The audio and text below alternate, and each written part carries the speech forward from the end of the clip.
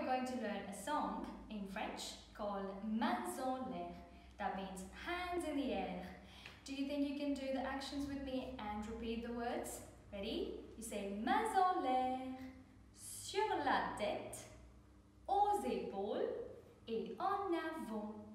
Bras croisés sur les côtés, moulinés et on se tait.